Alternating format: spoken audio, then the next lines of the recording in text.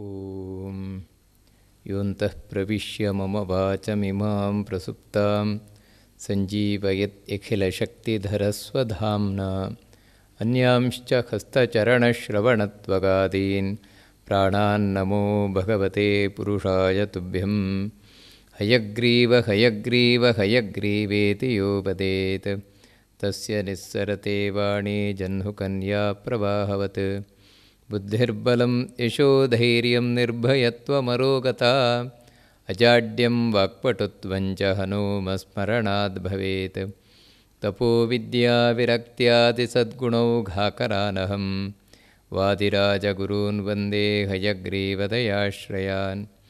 पूज्याय राघवेन्द्राय सत्यधर्मरताय च। भजतां कल्पवृक्षाय नमतां कामधेनवे ॐ नारायणं सुरगुरुं जगदेकनाथं भक्तप्रियं सकललोकनमस्कृतं च त्रैगुण्यवर्जितमजं विभुमाद्यमीशं वन्दे भवघ्नममरासुरसिद्धवन्द्यं नारायणं नमस्कृत्य नरं चैव नरोत्तमं देवीं सरस्वतीं व्यासं ತಥೋ ಜಯಮುದೀರಯೇ ಶ್ರೀ ಗುರುಭ್ಯೋ ನಮಃ ಮಹಾಭಾರತದಲ್ಲಿ ಧೃತರಾಷ್ಟ್ರನಿಗೆ ವಿದುರ ಧರ್ಮೋಪದೇಶವನ್ನು ಮಾಡ್ತಾ ಇದ್ದಾನೆ, ಅದೇ ವಿದುರ ನೀತಿ ಅಂತ. ಅದನ್ನು ನಾವು ನೋಡ್ಕೊಂಡು ಬರ್ತಾ ಇದ್ದೇವೆ.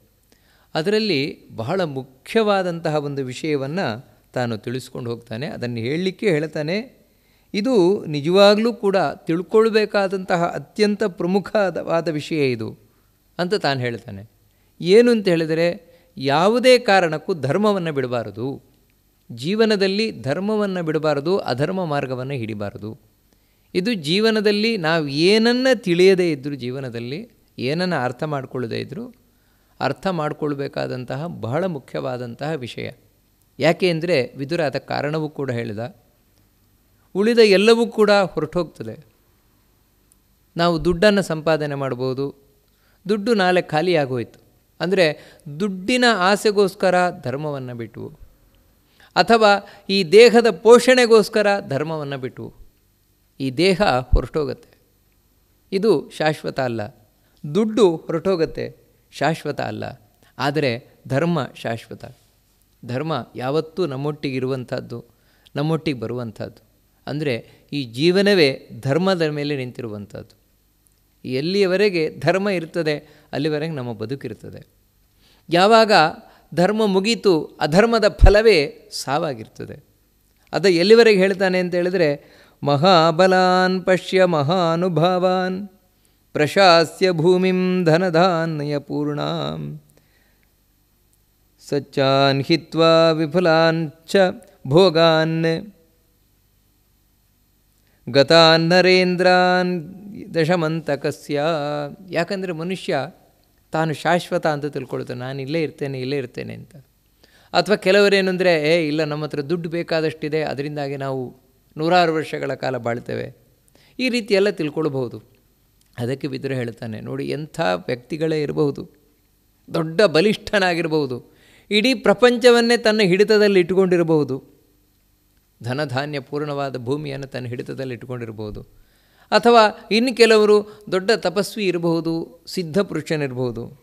ಯಾರೇ ಆದರೂ ಕೂಡ ಒಂದು ದಿನ ಈ ದೇಹವನ್ನು ಬಿಟ್ಟರೆ ಸತ್ತೋದ್ರೆ ಯಾರೂ ಇಲ್ಲಿ ಶಾಶ್ವತವಾಗಿ ಉಳ್ಕೊಳ್ಳಿಲ್ಲ. ಆದರೆ ಉಳ್ಕೊಂಡಿದ್ದೇನು ಅಂದರೆ ಧರ್ಮ ಮಾತ್ರ. ನಾವು ಹೊರಡಬೇಕಾದ್ರೆ, ಹೋಗಬೇಕಾದ್ರೆ ನಮ್ಮನ್ನು ಹಿಂಬಾಲಿಸಿಕೊಂಡು ಬರುವಂಥದ್ದು ನಾವು ಮಾಡಿದ ಧರ್ಮ, ಧರ್ಮಗಳಷ್ಟೇ ಹೊರತು ಇನ್ಯಾವುದು ನಮ್ಮೊಟ್ಟಿಗೆ ಬರುವುದಿಲ್ಲ. ಮೃತಂ ಪುತ್ರಂ ದುಃಖ ಪುಷ್ಟಂ ಮನುಷ್ಯ.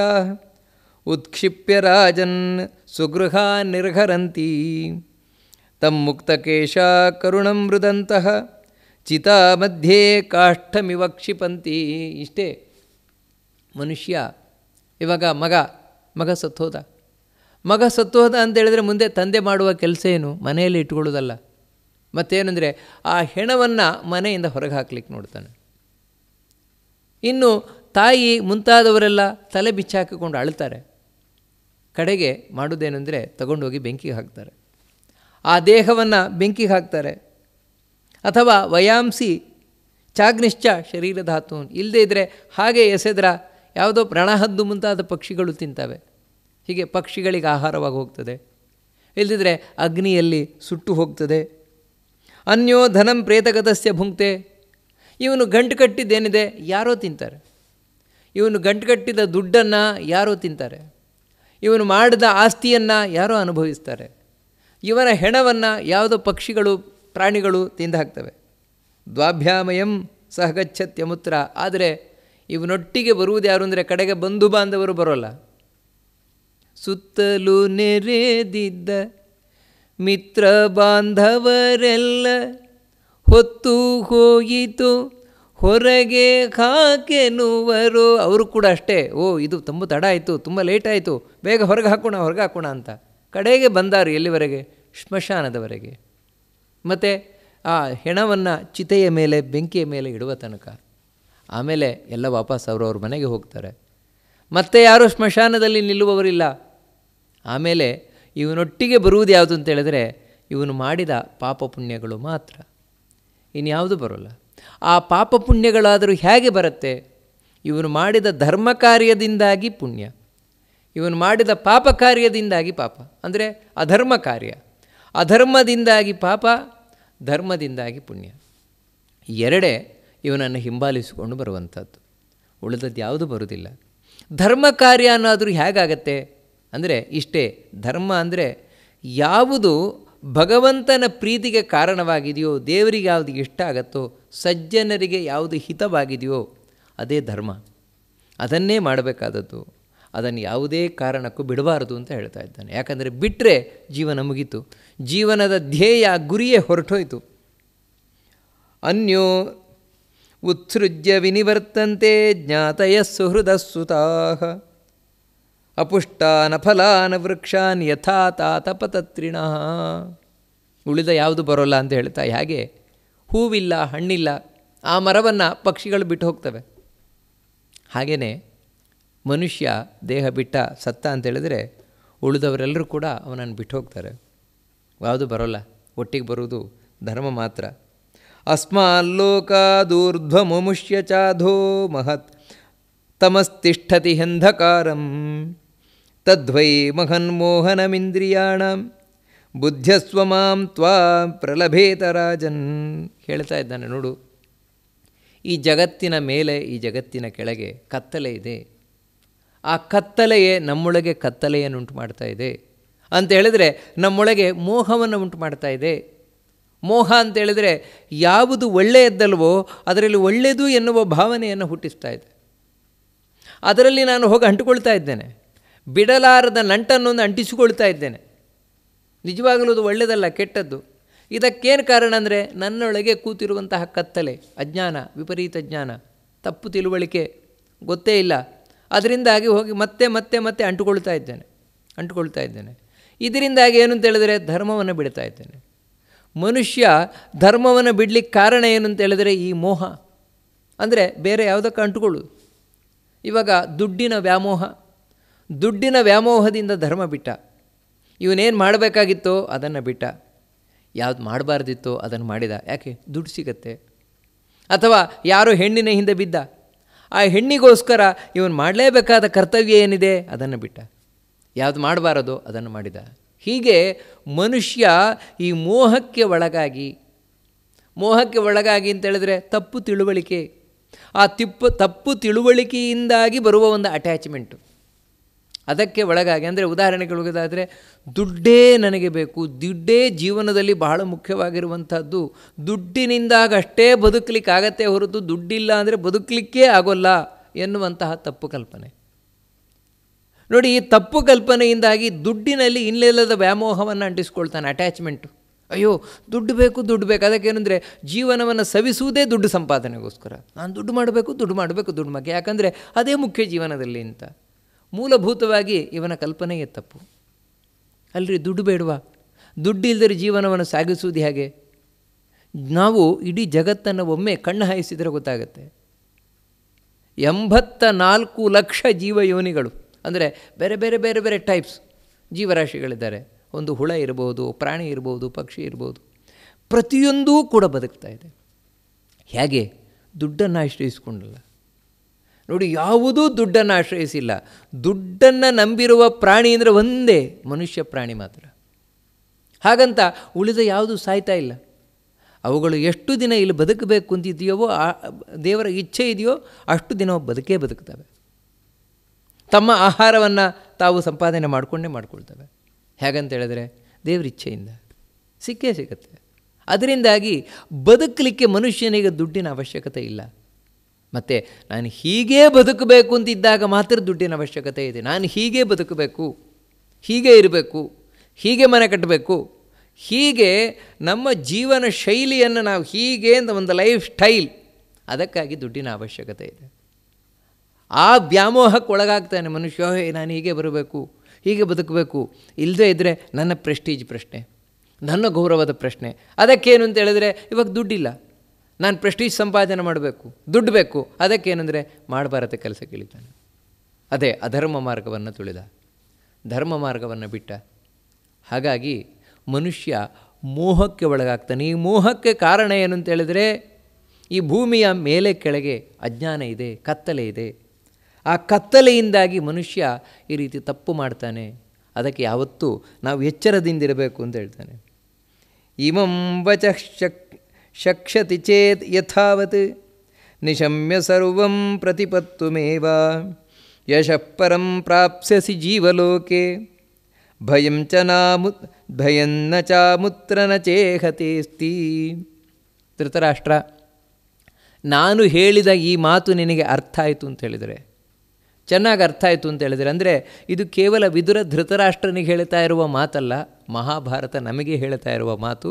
ವೇದವ್ಯಾಸರು ನಮಗೆ ಹೇಳ್ತಾ ಇರುವ ಮಾತು, ಮಹಾಭಾರತದ ಈ ಮಾತು ನಮಗೆ ಚೆನ್ನಾಗಿ ಅರ್ಥ ಆಯಿತು ಅಂತ ಹೇಳಿದರೆ ಏನು ಅಂತ ಹೇಳಿದರೆ ಧರ್ಮವೇ ಜೀವನ. ಜೀವನದಲ್ಲಿ ನಾವು ಮಾಡಬೇಕಾದ ಮುಖ್ಯವಾದ ಕರ್ತವ್ಯ ಏನಂದರೆ ಧರ್ಮವನ್ನು ಉಳಿಸುವುದು. ಹಾಗಂತ ಧರ್ಮವನ್ನು ಉಳಿಸುವುದು ಅಂತ ಹೇಳಿದರೆ ಇನ್ನೇನು ನಾನು ದೊಡ್ಡ ಬ್ಯಾನರನ್ನು ಕಟ್ಟಿಕೊಂಡು ನಾನು ಧರ್ಮ ಸಂರಕ್ಷಕ ಅಂತ ಹೇಳಿಕೊಂಡು ಊರು ಊರು ತಿರುಗಿಕೊಂಡು, ಏನು ನಾನು ದೊಡ್ಡ ದೊಡ್ಡ ಕಾರ್ಯಕ್ರಮಗಳನ್ನು ಮಾಡಿಕೊಂಡು ಅದನ್ನು ಮಾಡು ಅಂತ ಹೇಳ್ತಾ ಇಲ್ಲ. ಮತ್ತೇನೆಂದರೆ, ನಿನ್ನ ಪಾಲಿನ ಕರ್ತವ್ಯ ಏನಿದೆ ಎಲ್ಲರೂ ಕೂಡ ಧರ್ಮ ಸಂರಕ್ಷಣೆ ಮಾಡಬೇಕು ಅಂತ ಹೇಳಿದರೆ ಇನ್ನೇನು ಮಾಡಬೇಕಾಗಿಲ್ಲ. ನಮಗೆ ಏನಿಲ್ಲೇ ದೇವರು ಕರ್ತವ್ಯವನ್ನು ವಿಧಿಸಿದ್ದಾನೆ, ಆ ಕರ್ತವ್ಯವನ್ನು ನಾವು ಪ್ರಾಮಾಣಿಕತೆಯಿಂದ ಮಾಡಿದ್ವು ಅಂತ ಹೇಳಿದರೆ, ಅದಕ್ಕಿಂತ ಹೆಚ್ಚಿನದಿನೇನು ನಾವು ಧರ್ಮ ಸಂರಕ್ಷಣೆ ಮಾಡಬೇಕಾಗಿಲ್ಲ. ಬ್ರಾಹ್ಮಣ, ಬ್ರಾಹ್ಮಣನ ಕರ್ತವ್ಯವನ್ನು. ವೈಶ್ಯ, ಶೂದ್ರ, ಸ್ತ್ರೀಯರು ಈ ರೀತಿ ಪ್ರತಿಯೊಬ್ಬರು ನಮ್ಮ ಪಾಲಿನ ಕರ್ತವ್ಯ ಏನಿದೆ ಅಂದರೆ ನಾವು ಸಮಾಜಕ್ಕೆ ಕೊಡಬೇಕಾದ ಕೊಡುಗೆ. ಪ್ರತಿಯೊಬ್ಬ ವ್ಯಕ್ತಿಯೂ ಕೂಡ ನಾವು ಸಮಾಜಕ್ಕೆ ಏನು ಕೊಡಬೇಕಾಗಿದೆ ಆ ಕೊಡುಗೆಯನ್ನು ಕೊಡ್ತಾ ಅದೇ ದೇವರ ಪೂಜೆಯನ್ನಾಗಿ ಮಾಡಿಕೊಂಡಾಗ. ಯಾಕಂತ ಹೇಳಿದ್ರೆ ದೇವರ ಪೂಜೆ ಬೇರೆ ಅಲ್ಲ, ನಾವು ಸಮಾಜಕ್ಕೆ ಕೊಡುವ ಕೊಡುಗೆ ಬೇರೆ ಅಲ್ಲ. ಇದೆರಡು ಒಂದೇ. ಆದರೆ ಇದನ್ನು ಅರ್ಥ ಮಾಡಿಕೊಳ್ಬೇಕು. ಹೇಗ್ರಿ ಎರಡು ಒಂದೇ ಹೇಗೆ ಆಗತ್ತೆ ಅಂದರೆ ಇದನ್ನು ಹಿಂದಿನಿಂದಲೂ ಮಹಾಭಾರತ ಹೇಳ್ಕೊಂಡು ಬಂದಿದೆ. ಇವಾಗ ಮತ್ತೆ ನಾವು ಅದನ್ನು ನೆನಪು ಮಾಡ್ಕೊಳ್ಬೇಕಾದದ್ದು ಒಬ್ಬ ಒಬ್ಬ ಬ್ರಾಹ್ಮಣ. ಬ್ರಾಹ್ಮಣನಾದವನು ಪೂಜೆ ಮಾಡ್ತಾನೆ, ಜಪ ಮಾಡ್ತಾನೆ. ಯಾಕೋಸ್ಕರ? ಒಂದು ಅದು ಅವನ ಕರ್ತವ್ಯ. ಅವನು ಸಮಾಜಕ್ಕೆ ಕೊಡುವ ಕೊಡುಗೆ ಅದು. ಇವಾಗ ಒಬ್ಬ ಬ್ರಾಹ್ಮಣ ಜಪ ಮಾಡ್ತಾನೆ ಅಂತ ಹೇಳಿದ್ರೆ ನಾನು ಮಾತ್ರ ಚೆನ್ನಾಗಿರಲಿ ಅಂತಲ್ಲ, ಮತ್ತು ಸರ್ವೇ ಜನ ಹಸುಕಿನೋ ಭವಂತು, ಎಲ್ರಿಗೂ ಒಳ್ಳೆಯದಾಗಲಿ ನೋಡಿ, ಅವನ ಉದ್ದೇಶ ಏನಂದರೆ ಎಲ್ರಿಗೂ ಒಳ್ಳೆಯದಾಗಲಿ ಎಲ್ರಿಗೂ ಹಿತವಾಗಲಿ. ನೋಡಿ, ಅವನ ಉದ್ದೇಶ ಇದಿರಬೇಕು. ಅವನು ಪೂಜೆ ಮಾಡ್ತಾನೆ. ಯಾಕೋಸ್ಕರ? ನನಗೊಬ್ಬನಿಗೆ ಅಲ್ಲ. ಮತ್ತು ಇಡೀ ದೇಶಕ್ಕೆ ಒಳ್ಳೆಯದಾಗಲಿ ಅದೇ ರೀತಿ ಒಬ್ಬ ಬ್ರಾಹ್ಮಣನಾದವನು ಯಜ್ಞ ಯಾಗಾದಿಗಳನ್ನು ಮಾಡ್ತಾನೆ. ಯಾಕೋಸ್ಕರ ಅಂತ ಹೇಳಿದ್ರೆ ಎಲ್ರಿಗೂ ಒಳ್ಳೆಯದಾಗಲಿ ಹೊರತು ಅಯ್ಯೋ ನನ್ನ ಹೊಟ್ಟೆಪಾಡು ನಾನು ಪೂಜೆ ಮಾಡೋದು ದೇವಸ್ಥಾನದಲ್ಲಿ ಪೂಜೆ ಮಾಡೋದು ನನ್ನ ಹೊಟ್ಟೆಪಾಡು ಹೋಮ ಮಾಡೋದು ನನ್ನ ಹೊಟ್ಟೆಪಾಡು ದಾನ ತಗೊಳ್ಳೋದು ನನ್ನ ಹೊಟ್ಟೆಪಾಡು ಈ ರೀತಿ ಬ್ರಾಹ್ಮಣ ತಿಳ್ಕೊಂಡ ಅಂತ ಹೇಳಿದ್ರೆ ಅವನ ಅಧಾರ್ಮಿಕನಾಗ್ತಾನು ಯಾಕೆ ಅಂತ ಹೇಳಿದ್ರೆ ಅದು ಹೊಟ್ಟೆಪಾಡಲ್ಲ ಹೌದು ಹೊಟ್ಟೆಪಾಡಲ್ಲ ಅಂತನೂ ಅಲ್ಲ. ಹೌದು ಹೊಟ್ಟೆಪಾಡು ಹೌದು ಹೌದು ಆದರೆ ಬರೀ ಹೊಟ್ಟೆಪಾಡೇ ಅಲ್ಲ ಅದು. ಮತ್ತೇನೆಂದರೆ ಅದು ಭಗವಂತನ ಪೂಜೆ. ಅದಕ್ಕಾಗಿ ಅಲ್ಲಿ ಯಾವುದೇ ಆಸೆ ಆಕಾಂಕ್ಷೆಗಳನ್ನು ಇಟ್ಕೊಳ್ಳೋದೇ ಇಟ್ ಈಸ್ ಮೈ ಡ್ಯೂಟಿ ಅದನ್ನು ಮಾಡಬೇಕಾದದ್ದು. ಕ್ಷತ್ರಿಯ ಅಂದರೆ ರಾಜ್ಯ ಪಾಲನೆಯನ್ನು ಮಾಡುವಂಥವ್ರು. ಯಾರು ರಾಷ್ಟ್ರವನ್ನು, ರಾಜ್ಯವನ್ನು ಪಾಲನೆಯನ್ನು ಮಾಡ್ತಾರೆ, ಅವರು ಯಾವುದೇ ಆಸೆ ಆಕಾಂಕ್ಷೆಗಳನ್ನು ಇಟ್ಕೊಳ್ಳದೆ ಇದು ನನ್ನ ಕರ್ತವ್ಯ. ರಾಷ್ಟ್ರವನ್ನು ಪಾಲನೆ ಮಾಡುವುದು ನನ್ನ ಕರ್ತವ್ಯ. ಕ್ಷತ್ರಿಯನಾದನೋ ಕರ್ತವ್ಯ ಅಂತ ತಿಳಿದು ಪಾಲನೆ ಮಾಡಿದರೆ ಅದಕ್ಕಿಂತ ದೊಡ್ಡ ರಾಷ್ಟ್ರ ಸೇವೆ ಇನ್ನೇನು ಮಾಡಬೇಕಾಗಿದೆ? ಒಬ್ಬ ರಾಜಕಾರಣಿ ಮಾಡಬೇಕಾದಂತಹ ದೊಡ್ಡ ರಾಷ್ಟ್ರ ಸೇವೆ ಇನ್ನೇನು ಇಲ್ಲ. ಪ್ರಾಮಾಣಿಕವಾಗಿ ಅವನು ರಾಜಕಾರಣವನ್ನು ಮಾಡಿದರೆ ಸಾಕು. ಯಾವುದೇ ಆಸೆ ಆಕಾಂಕ್ಷೆಗಳನ್ನು ಇಟ್ಕೊಳ್ಳದೆ ಕೇವಲ ನನ್ನ ಡ್ಯೂಟಿ ಇದು, ಇಷ್ಟು ಮಾಡಿದರೆ ಸಾಕು. ಎಷ್ಟೋ ರಾಷ್ಟ್ರ ಉದ್ಧಾರ ಆಗುತ್ತೆ, ರಾಜ್ಯ ಉದ್ಧಾರ ಆಗುತ್ತೆ, ದೇಶ ಉದ್ಧಾರ ಆಗುತ್ತೆ. ಅದು ಬಿಟ್ಟು ತಾನು ಅಧಿಕಾರವನ್ನು ವಹಿಸಿಕೊಳ್ಳುವುದೇ ತನಗೆ ಎಷ್ಟು ಬೇಕೋ ತನ್ನ ಸ್ವಂತಕ್ಕೆ ಎಷ್ಟು ಬೇಕೋ ಅದಕ್ಕೆ ಮಾಡಿಕೊಳ್ಳುವಾಗೆ ನಾನು ಚೆನ್ನಾಗಿರಬೇಕು. ನಾವು ಚೆನ್ನಾಗಿರಬೇಕು ಅಂದರೆ ನಮ್ಮ ಕಡೆಯವರು ಚೆನ್ನಾಗಿರಬೇಕು. ದೇಶ ಹಾಳಾಗೋಗಲಿ, ನನಗೇನಾಗಬೇಕಾಗಿದೆ? ರಾಜ್ಯ ಹಾಳಾಗೋಗಲಿ, ನನಗೇನಾಗಬೇಕಾಗಿದೆ? ನೋಡಿ, ಈ ರೀತಿ ಯಾರು ಹೇಳ್ತಾನೆ ಇವನು? ಅಧಾರ್ಮಿಕ. ಅಂತ ಹೇಳಿದರೆ ರಾಜ್ಯ ಪಾಲನೆ ಮಾಡುವವನು ಮಾಡುವ ಅಧಾರ್ಮಿಕ, ಅಧರ್ಮ. ಇದಕ್ಕೆ ಅವನೇನು ಕೊಲೆ ಮಾಡಿಸ್ಬೇಕಾಗಿಲ್ಲ? ಒಬ್ಬ ರಾಜಕಾರಣಿ ಕೊಲೆ ಮಾಡಿಸ್ಬೇಕಾಗಿಲ್ಲ? ಲಂಚ ತಗೊಳ್ಬೇಕಾಗಿಲ್ಲ. ಮತ್ತೇನು ಅಂದರೆ, ತಾನು ಯಾಕೆ ಬಂದಿದ್ದೇನೆ, ತಾನು ಯಾಕೆ ರಾಜಕಾರಣಿ ಆಗಿದ್ದೇನೆ ಉದ್ದೇಶವೇ ಅವನಿಗೆ ಗೊತ್ತಿಲ್ಲ. ಆ ಉದ್ದೇಶವನ್ನು ಉದ್ದೇಶದಲ್ಲಿ ನಡ್ಕೊಳ್ತಿಲ್ಲ ಅಂತ ಹೇಳಿದರೆ, ಅದರಿಂದಲೇ ಅವನು ಅಧಾರ್ಮಿಕನಾಗ್ತಾನೆ. ಪ್ರತಿಯೊಬ್ಬರು ಅಷ್ಟೇ, ಇವಾಗ ಒಬ್ಬ ವ್ಯಾಪಾರಿ, ಅದೇ ವೈಶ್ಯ ವೃತ್ತಿಯಲ್ಲಿರುವ, ವ್ಯಾಪಾರ ಮಾಡ್ತಾನೆ. ಯಾಕೋಸ್ಕರ ಅಂದರೆ, ಇದು ನಾನು ಸಮಾಜಕ್ಕೆ ಮಾಡುವ ಸೇವೆ. ನೋಡಿ, ಅದಕ್ಕೋಸ್ಕರ ಹೆಚ್ಚು ಲಾಭ ಇಟ್ಕೊಳ್ಳಲ್ಲ. ಕಲಬೆರಕೆ ವಸ್ತುವನ್ನು ಕೊಡೋಲ್ಲ. ತೂಕದಲ್ಲಿ ಅನ್ಯಾಯ ಮಾಡುವುದಿಲ್ಲ. ಮತ್ತೇನೆಂದರೆ ಎಷ್ಟು ಲಾಭ ಇಟ್ಕೊಳ್ಬೇಕು ಅಷ್ಟೇ ಲಾಭಾಂಶವನ್ನು ಇಟ್ಟುಕೊಂಡು ಗ್ರಾಹಕರಿಗೆ ತುಂಬ ಶುದ್ಧವಾದ ವಸ್ತುವನ್ನು ತೂಕದಲ್ಲಿ ವ್ಯತ್ಯಾಸ ಇಲ್ಲದ ಹಾಗೆ ಕೊಡ್ತಾನೆ. ಕೊಟ್ಟು ಇಷ್ಟನೇ ತಿಳ್ಕೊಳ್ತಾನೆ ಅಂದರೆ ಇದು ನಾನು ಮಾಡ್ತಾ ಇರುವ ದೇವರ ಸೇವೆ. ಮತ್ತು ಟ್ಯಾಕ್ಸನ್ನು ಸರಿಯಾದ ಕಾಲದಲ್ಲಿ ಕಟ್ತಾನೆ. ನೋಡಿ ಇಷ್ಟು ಸಾಕು. ಈ ರೀತಿ ಪ್ರತಿಯೊಬ್ಬರು ಶೂದ್ರ. ಶೂದ್ರ ಜಾತಿಯವನು ತನ್ನ ಉಳಿದವರಿಗೆ ತನ್ನ ಕೈಯಲ್ಲಿ ಎಷ್ಟು ಸಾಧ್ಯ ಸಾಧ್ಯ ಉಂಟು ಅಷ್ಟು ಸರ್ವೀಸ್, ಸೇವೆಯನ್ನು, ಕೆಲಸವನ್ನು ಮಾಡ್ತಾನೆ. ಅದರ ಹಿಂದೆ ಇಷ್ಟೇ ಬೇಕು, ಅಷ್ಟೇ ಬೇಕು ಅಂತಿಲ್ಲ. ಮತ್ತು ದೇವರು ಕೊಟ್ಟದ್ದು ಸಾಕು. ನೋಡಿ ಇಲ್ಲೆಲ್ಲ ಕಡೆ ಇರಬೇಕಾದದ್ದೇನು ಅಂದರೆ, ನಾವು ಧಾರ್ಮಿಕರಾಗಿ ನಮ್ಮ ಧಾ, ಮಾರ್ಗದಲ್ಲಿ ಹೋಗಬೇಕು ಅಂತ ಹೇಳಿದ್ರೆ ಯಾವುದೇ ಆಸೆ ಆಕಾಂಕ್ಷೆಗಳನ್ನಿಟ್ಟುಕೊಳ್ಳದೆ ಕೇವಲ ದೇವರ ಪ್ರೀತಿಗಾಗಿ, ಸಮಾಜದ ಒಳಿತಿಗಾಗಿ ಮಾಡಬೇಕು. ಇದೇ ಜನಸೇವೆ ಜನಾರ್ದನ ಸೇವೆ. ಇದನ್ನು ಮಾಡಿದಾಗ ನಿಜವಾಗಲೂ ನಾವು ಧರ್ಮಾಚರಣೆಯನ್ನು ಮಾಡಿದಾಗ ಆಯಿತು. ಅದರಿಂದ ದೇವರು ಸಂತುಷ್ಟನಾಗ್ತಾನೆ. ಅಷ್ಟು ಮಾತ್ರ ಅಲ್ಲ, ಇದೇ ನಮಗಿಲ್ಲಿ ಸುಖವನ್ನು ತಂದುಕೊಡ್ತದೆ ನೆಮ್ಮದಿಯನ್ನು ತಂದುಕೊಡ್ತದೆ. ಸತ್ತ ಬಳಿಕವೂ ಕೂಡ ನರಕದ ಭಯ ಇಲ್ಲ. ಧರ್ಮ ಮಾರ್ಗದಲ್ಲಿ ಇರುವವನಿಗೆ ಇಲ್ಲೂ ಭಯ ಇಲ್ಲ, ಅಲ್ಲೂ ಭಯ ಇಲ್ಲ. ಇದು ಅರ್ಥ ಮಾಡ್ಕೊಳ್ಬೇಕಷ್ಟೆ. ಜೀವನದಲ್ಲಿ ಯಾವತ್ತು ಧರ್ಮವನ್ನು ಬಿಡಬಾರ್ದು ಅನ್ನೋದನ್ನು ಅರ್ಥ ಮಾಡ್ಕೊಳ್ಬೇಕು. ಆತ್ಮ ನದಿ ಭಾರತ ಪುಣ್ಯತೀರ್ಥ ಸತ್ಯೋದಕ ಶೀಲಕೂಲ ದಮೋರ್ಮಿ ಯಸ್ಯಾಂ ಸ್ನಾತ ಪೂಯತೆ ಪುಣ್ಯಕರ್ಮ. ಯಥಾತ್ಮಾನಂ ಪುಣ್ಯವಂತೋ ಜನಾಶ್ಚ. ತುಂಬ ಚಂದವಾದ ಮಾತನ್ನು ಹೇಳ್ತಾನೆ. ಪುಣ್ಯ ಸಂಪಾದನೆ ಅನ್ನೋದು ಹೇಗಾಗತ್ತೆ? ಪುಣ್ಯಕರ್ಮ ಅನ್ನೋದು ಹೇಗಾಗತ್ತೆ? ನಾವೇನು ತಿಳ್ಕೊಂಡಿದ್ದೇವೆ ಅಂತ ಹೇಳಿದ್ರೆ ಪುಣ್ಯಕರ್ಮ ಅಂತ ಹೇಳಿದ ಕೂಡಲೇ ಪುಣ್ಯ ಸಂಪಾದನೆ ಮಾಡಲಿಕ್ಕೆ ಯಾವುದೋ ಕ್ಷೇತ್ರಕ್ಕೆ ಹೋಗಬೇಕು. ಕಾಶಿ, ಬದರಿ, ಗಯಾ ಮುಂತಾದ ಕ್ಷೇತ್ರಗಳಿಗೆ ಹೋಗಬೇಕು. ಗಂಗಾ ಯಮುನಾ ಸರಸ್ವತಿ, ಕಾವೇರಿ ಮುಂತಾದ ನದಿ ತೀರಕ್ಕೆ ಹೋಗಬೇಕು. ಅಥವಾ ಯಾರಾದರೂ ದೊಡ್ಡ ದೊಡ್ಡ ಬ್ರಾಹ್ಮಣರು ಇರಬೇಕು ಪಂಡಿತರಿರಬೇಕು, ಜ್ಞಾನಿಗಳಿರಬೇಕು, ಸ್ವಾಮಿಗಳಿರಬೇಕು, ಈ ರೀತಿಯೆಲ್ಲ ನಾವು ತಿಳ್ಕೊಂಡಿದ್ದೇವೆ. ಆದರೆ ವಿದುರ ತುಂಬ ಸುಂದರವಾಗಿ ಹೇಳ್ತಾನೆ, ನೋಡಯ್ಯ, ಪುಣ್ಯವನ್ನು ಸಂಪಾದನೆ ಮಾಡಲಿಕ್ಕೆ, ಪುಣ್ಯಕರ್ಮವನ್ನು ಮಾಡಲಿಕ್ಕೆ ನೀನೆಲ್ಲೂ ಹೋಗಬೇಕಾಗಿಲ್ಲ. ಮತ್ತು ಪುಣ್ಯಕ್ಕೆ ಬೇಕಾದದ್ದು ಎಲ್ಲವೂ ನಿನ್ನಲ್ಲಿದೆ. ಯಾವುದು ಅಂತ ಹೇಳಿದರೆ, ಆತ್ಮ ನದಿ, ಭಾರತ ಪುಣ್ಯಕರ್ಮ. ನೋಡಯ್ಯ, ಈ ಆತ್ಮ ಅದೇ ನದಿ. ನದಿ ಅಂತ ಹೇಳಿದರೆ ಇದು ಹರಿತಾ ಇರುವಂಥದ್ದು. ಆ ರೀತಿ ಈ ನ ಜೀವ ಅನ್ನುವಂಥದ್ದೇನಿದೆ ಹೋಗ್ತಾ ಇದ್ದಾನೆ, ಮುಂದೆ ಹೋಗ್ತಾ ಇದ್ದಾನೆ, ಮುಂದೆ ಹೋಗ್ತಾ ಇದ್ದಾನೆ. ಪುಣ್ಯತೀರ್ಥ ಅಂತ ಹೇಳ್ತಾನೆ. ಪುಣ್ಯತೀರ್ಥ ಅಂತ ಹೇಳಿದರೆ ಇದು ಭಗವಂತನ ಸನ್ನಿಧಾನದಿಂದ ಕೂಡಿರುವಂಥದ್ದು ನಮ್ಮನ್ನು ಪಾರು ಮಾಡುವಂಥದ್ದು ತೀರ್ಥ ಅಂತ ಯಾವುದನ್ನು ಕರೀತಾರೆ ಅಂದರೆ ತಾರಯತಿ ನಮ್ಮನ್ನು ದಾಟಿಸ್ತದೆ. ಅಂದರೆ ಈ ದೇಹ ಅನ್ನುವಂಥದ್ದು ಯಾಕೋಸ್ಕರ ನಮಗೆ ಬಂದಿದೆ ಅಂತ ಹೇಳಿದ್ರೆ, ಈ ಜೀವನಿಗೆ ದೇಹ ಯಾಕೋಸ್ಕರ ಬಂದಿದೆ ಅಂತ ಹೇಳಿದ್ರೆ ದಾಟಿಸ್ಲಿಕ್ಕೆ, ಕಷ್ಟದಿಂದ ನಮ್ಮನ್ನು ಪಾರು ಮಾಡಲಿಕ್ಕೆ ಇದು ದೋಣಿ ಹಾಗೆ ಇರುವಂಥದ್ದು ಈ ದೇಹ ಅನ್ನೋದು. ಅದಕ್ಕೋಸ್ಕರ ಈ ದೇಹವನ್ನೇ ನೀನು ಒಂದು ನದಿಯನ್ನಾಗಿ ಮಾಡಿಕೊ. ಅದು ಪುಣ್ಯ ನದಿ. ಯಾಕಿದು ಪುಣ್ಯ ನದಿ ಅಂತ ಹೇಳಿದ್ರೆ, ಈ ನದಿ, ಈ ದೇಹ ಯಾಕೋಸ್ಕರ ಬಂದಿದೆ ಅಂತ ಹೇಳಿದ್ರೆ ಪುಣ್ಯ ಸಂಪಾದನೆಗೋಸ್ಕರವೇ ಇರುವಂಥದ್ದು. ಯಾವ ರೀತಿ? ಇವಾಗ ಗಂಗಾ, ಮುನಾ ನದಿಗಳಿವೆ. ಯಾಕೋಸ್ಕರ ಇರುವುದದು ಅಂದರೆ ಪುಣ್ಯ ಸಂಪಾದನೆಗೆ ಇರುವಂಥದ್ದು. ಅಲ್ಲಿ ಹೋಗಿ ಪಾಪ ಮಾಡ್ತಾರೆ ಅಂತ ಹೇಳಿದ್ರೆ ಅದು ಅವ್ರ ಕರ್ಮ. ನೋಡಿ, ಯಾವ ನದಿ ಸ್ನಾನ ಮಾಡಲಿಕ್ಕೆ, ಅಲ್ಲಿ ದಾನ ಮಾಡಲಿಕ್ಕೆ ಇದೆಯೋ ಅದೇ ನೀರಿನಲ್ಲಿ ಹೋಗಿ, ಅದೇ ನದಿಯಲ್ಲಿ ಹೋಗಿ ಇವನು ಮಲವನ್ನು ಹಾಕ್ತಾನೆ ಅಂತ ಹೇಳಿದ್ರೆ. ಆ ಪಾಪಿಗೆ, ಆ ಪಾಪಕ್ಕೆ ಯಾರು ಕಾರಣ? ಅವನೇ ಕಾರಣ. ನದಿ ಕಾರಣ ಅಲ್ಲ. ನದಿ ಇರುವುದು ಮಲ ಹಾಕ್ಲಿಕ್ಕಲ್ಲ. ಯಾಕಂದರೆ ಅದೇ ನೀರನ್ನು ಸಾವಿರಾರು ಜನ ಕುಡಿತಾರೆ. ಸಾವಿರಾರು ಜನ ಕುಡಿಯುವ ನೀರಿಗೆ ಮಲವನ್ನು ಹಾಕ್ತಾನೆ ಅಂತ ಹೇಳಿದ್ರೆ ಅವನಿಗಿಂತ ಪಾಪಿ ಇನ್ಯಾರಿದ್ದಾನೆ? ಆದರೆ ನದಿ ಇರುವುದು ಅದಕ್ಕೋಸ್ಕರ ಅಲ್ಲ. ಮತ್ತು ನದಿ ಇರುವಂಥದ್ದು ಪುಣ್ಯಕರ್ಮಕ್ಕೋಸ್ಕರ, ಒಳ್ಳೆಯ ಉಪಯೋಗಕ್ಕೋಸ್ಕರ, ಹಾಗೆ ಈ ದೇಹ. ಈ ದೇಹ ದೇವರು ಯಾಕೋಸ್ಕರ ಕೊಟ್ಟಿದ್ದಾನೆ ಅಂತ ಹೇಳಿದ್ರೆ ಒಳ್ಳೆಯದಕ್ಕೋಸ್ಕರ ಬಳಸಿಕೊಳ್ಳಿಕ್ಕೋಸ್ಕರ. ಸತ್ಯೋದಕ, ಇಂತಹ ನದಿಯಲ್ಲಿ ಇರುವ ನೀರು ಯಾವುದು? ಅದೇ ಸತ್ಯವೇ ಉದಕ, ನೀರು. ಅಂದರೆ ಈ ದೇಹ ಯಾವಾಗ ಸಾರ್ಥಕವಾಗತ್ತೆ ಅಂತ ಹೇಳಿದ್ರೆ ಸತ್ಯವೆಂಬಂತಹ ನೀರಿದ್ದಾಗ. ಅದರಿಂದಾಗಿಯೇ ಜೀವನದಲ್ಲಿ ಸುಳ್ಳನ್ನು ಹೇಳಬಾರ್ದು. ಸತ್ಯವನ್ನು ಹೇಳಬೇಕು, ಸತ್ಯದಲ್ಲಿ ನಡ್ಕೊಳ್ಬೇಕು. ಎರಡು, ನಮ್ಮ ನಡೆ ನುಡಿ ಎರಡರಲ್ಲೂ ಸತ್ಯ ಬೇಕು. ಸತ್ಯಂ ವದ ಅಂತ ಅಷ್ಟೇ ನಾವು ಕೇಳಿದ್ದೇವೆ. ಸತ್ಯವನ್ನು ಹೇಳು ಅಂತ. ಹೇಳುವುದು ಮಾತ್ರ ಅಲ್ಲ, ಮತ್ತು ಹಾಗೆ ನಡ್ಕೊಳ್ಬೇಕು. ಯಾಕಂದರೆ ನಾವು ಹೇಳುವ ಮಾತು ಯಾವಾಗ ಸತ್ಯವಾಗತ್ತೆ ಅಂತ ಹೇಳಿದ್ರೆ ನಾನು ಆ ರೀತಿ ಇದ್ದಾಗ ಮಾತ್ರ. ಹೇಳಿದಂತೆ ನಾನು ನಡೆದಾಗ ಮಾತ್ರ ನಾನು ಹೇಳಿದ್ದು ಸತ್ಯವಾಗತ್ತೆ ಹೊರತು ಹೇಳುವುದೊಂದು ಮಾಡುವುದೊಂದಾದರೆ ಅದು ಸತ್ಯ ಅಂತ ಪರಿಗಣನೆ ಆಗುವುದೇ ಇಲ್ಲ. ನಾವೇ ಹೇಳ್ತೇವೆ, ಓ ಇವ್ರಿಗೆ ಹೇಳೋದು ಮಾತ್ರ, ಇವ್ರು ಮಾಡೋದು ಬೇರೆನೆ ಅಂತ. ಯಾಕೆ ಅಂತ ಹೇಳಿದರೆ ಹೇಳಿದಾಗೆ ಮಾಡಬೇಕು, ಅದು ಸತ್ಯ. ಅದಕ್ಕೆ ಹೇಳ್ತಾನೆ, ಸತ್ಯೋದಕ, ಆ ಸತ್ಯವೆಂಬಂಥದ್ದು ನದಿ, ಈ ದೇಹದಲ್ಲಿರುವ ನದಿ. ಅಷ್ಟು ಮಾತ್ರ ಅಲ್ಲ, ಶೀಲಕೂಲ ಇದರ ದಡ ಯಾವುದು?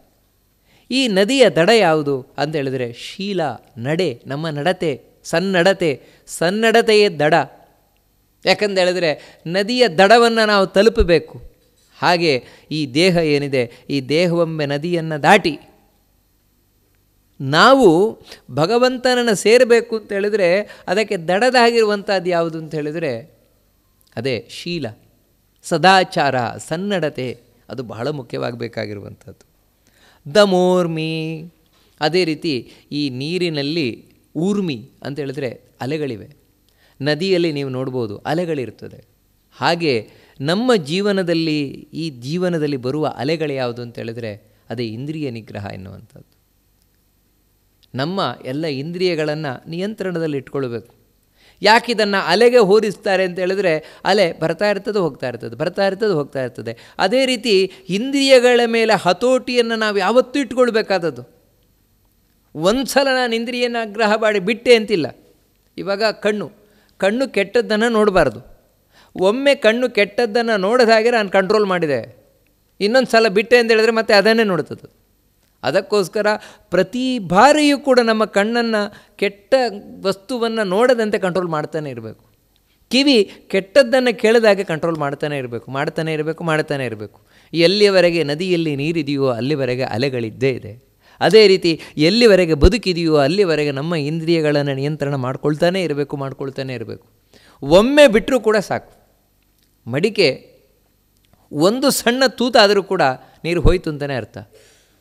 ತೂತು ಅಂದರೆ ಆ ಮಡಿಕೆಯನ್ನು ಕರೆಯುವುದು. ಹಾಗೆ ಒಮ್ಮೆ ಇಂದ್ರಿಯ ಜಾರಿ ಹೋಯ್ತಾ ಮತ್ತು ತುಂಬ ಎಫೆಕ್ಟ್ ಆಗ್ತದೆ ಇವನಿಗೆ.